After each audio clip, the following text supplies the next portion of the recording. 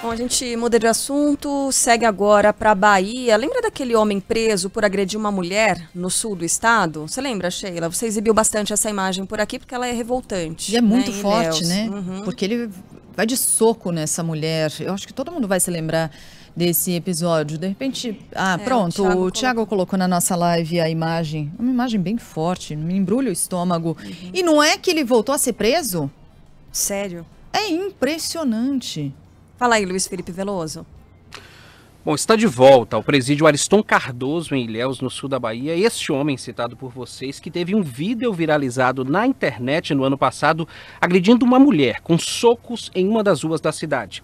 Carlos Samuel Freitas Costa Filho ficou preso entre outubro de 2020 e fevereiro deste ano e deixou a cadeia para responder ao processo em liberdade. Desta vez, ele ameaçou uma ex-companheira com quem se relacionou há quase três anos. De acordo com a Polícia Civil, assim que deixou a prisão, o agressor procurou a mulher e exigiu o retorno do relacionamento. Na ocorrência do ano passado, ele justificou estar bêbado e a mãe chegou a contar que também já havia sido agredida por Carlos. Dias depois, a mãe voltou atrás e declarou que não deveria ter falado mal do filho por saber que ele tinha problemas. A vítima teve ferimentos no rosto, né, essa vítima do ano passado, ficou com sequelas nas vistas e passou a receber acompanhamento psicológico. A testemunha que gravou o vídeo da agressão passou a contar com segurança po- policial após ser ameaçada.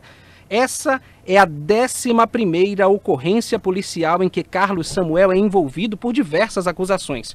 A maior parte das denúncias não foram levadas ao fim. As vítimas, por consequência, acabam se recusando a registrar e a dar andamento nessas denúncias. É o cenário lamentável desse tipo de brutamontes que acha que pode fazer o que quer, não é, Sheila? É isso, Luiz Felipe. É impressionante que esse cara tivesse solto. Ele estava solto.